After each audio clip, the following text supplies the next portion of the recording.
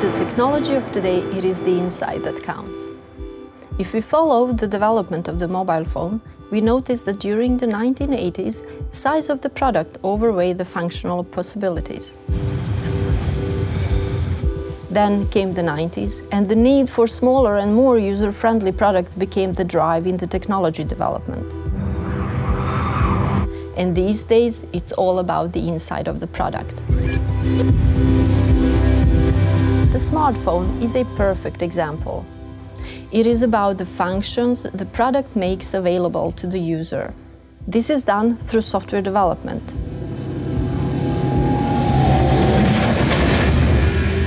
Software development today is opening possibilities for product design that allows users to add functionalities to existing products without having to invest in new hardware.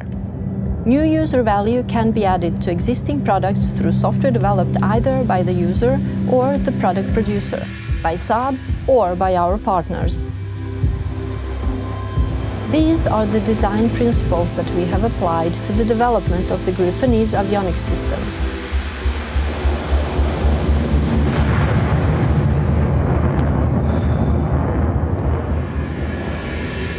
Gripen E's system design also enables us to safely separate flight-critical functions from mission-critical features.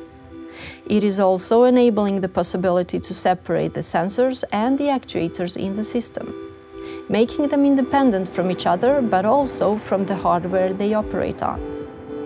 This way, we can make needed updates faster at much lower risk we have made a configurable avionics system containing the complexity in the platform. By managing to do this, we are also opening the doors for future needs that we yet cannot predict.